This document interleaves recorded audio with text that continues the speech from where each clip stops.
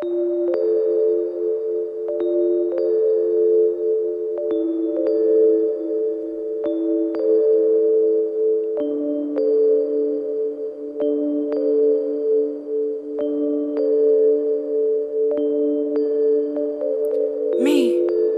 black girl, born to white woman and ghost man, some kind of sinful combination.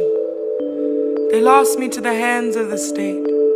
She exchanged her language for vodka slur and borrowed intimacy. He, simply a bedtime story. I tried 13 times to belong in homes that weren't mine, adopted into poverty. Body, oh baby, body, oh baby learning to walk with no feet.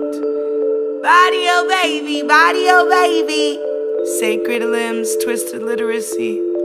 The hands of men taking, taking, taking from a too small body, swallowing itself into a silent melody. Things they told me. My kind of poetry ain't literary. My kind of skin ain't worth loving. My kind of adoption ain't real.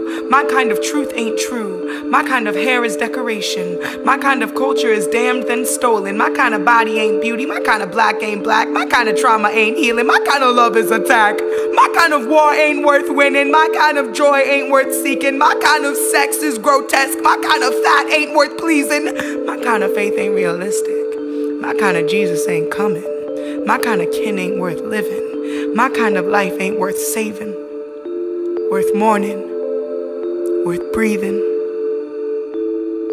My kind of miracle rests neath a cracked foundation, somewhere in Eden, becoming, becoming, becoming, sacred intuition, unraveling the path to a future I never thought I'd see, unapologetically black, relentlessly free as I dance in the moonlight and unlearn the sound of drowning.